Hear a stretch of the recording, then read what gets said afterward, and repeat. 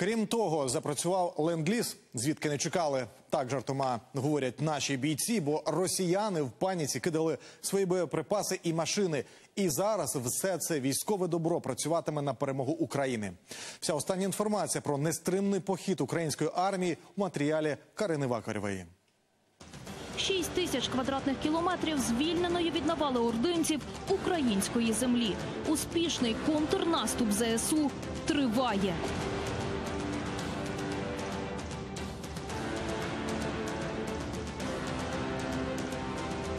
Окупанти масово кивають п'ятами Давайте, ребята, їдьте додому. та здаються в полон. Но нас перехватили и колонну сожгли. Я сдался в плен. Кто не сдался в плен, они погибли. Російська армія цими днями демонструє найкраще, що вміє, показує спину. І зрештою, це непоганий вибір для них втікати. Окупантам в Україні місця немає і не буде.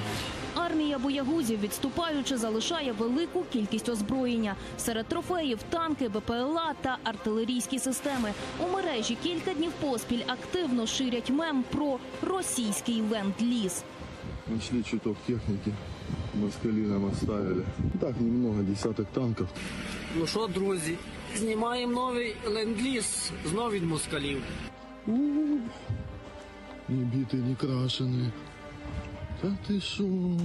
За оцінками американського інституту вивчення війни, Україна здобуває рішучу перемогу у битві за Харківську область. Відвоюючи наші землі, ЗСУ на деяких ділянках уже вийшли на державний кордон. Ну це Кацапія. А оце місце перетинання державного кордону з Кацапії, зі сторони Кацапії. А вон уже український прапор. Зачиняй! Ми зачиняємо кордон. Одне за одним наші військовики повертають під український контроль стратегічно важливі міста. місто Балаклія, Харківська область, державний прапор України офіційно піднято. Друзі, Купенськ це Україна.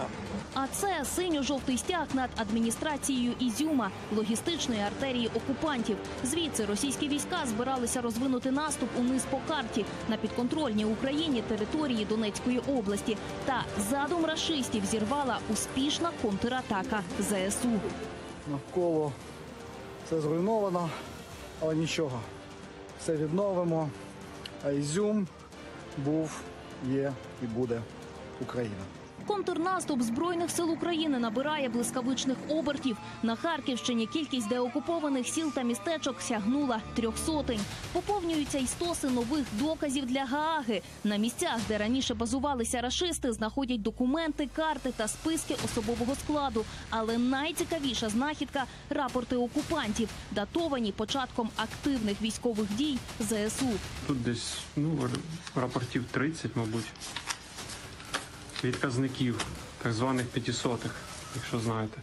І він їх тримав у себе, тобто вони далі нікуди не пішли. Українські армійці рухаються вперед не лише на харківському напрямку. Село Богородичне, що поблизу Святогірська на Донеччині, під цілковитим контролем України. А тим часом на заправках так званої ДНР черги та паніка. Ажіотаж на пальне почався кілька днів тому. Російські військові покинули й Сватове на Луганщині. На пункті пропуску у станиці Луганській зафіксували затори на виїзд завдовжки 12 кілометрів. Людям, конечно, страшно, они покидають города в сторону Росії, в сторону ЛНР. Тим часом на півдні України наші військові визволили від окупантів щонайменше п'ять населених пунктів Херсонщини. Про це повідомила речниця прес-центру оперативного командування Південь Наталія Гуменюк.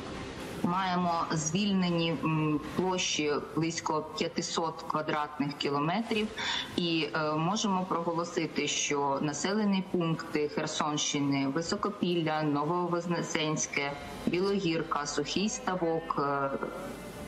І Миролюбівка е, на сьогодні вже звільнені і з- повністю під е, українським прапором. Е, Там зачищена територія, Утім, херсонці, попри репресії, які чинить ворог, в очікуванні наших військових. Мене звати Аліна. Я мешканка району ХБК. Знайте, Херсон це Україна. Агресор підло мститься за успіхи ЗСУ на фронті та цілить по мирних мешканцях. А напередодні ракетами обстріляли Харківську ТЕЦ і залишили без світла п'ять областей. Глава держави Володимир Зеленський звернувся до росіян і запевнив, що Україна все одно буде жити вільно від них, бо з кожним піднятим синьо-жовтим стягом та звільненим українським містечком ми стаємо міцнішими. Слава Україні!